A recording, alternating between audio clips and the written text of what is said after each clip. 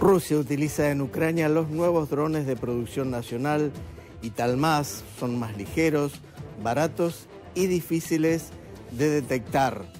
El Italmas fue presentado en septiembre pasado por la empresa rusa Sala Aéreo y es propulsado por un motor de dos tiempos, tiene un alcance de más de 200 kilómetros y puede adentrarse en la retaguardia ucraniana ya que es de difícil detección y fácil y difícil de derribar. ¿eh?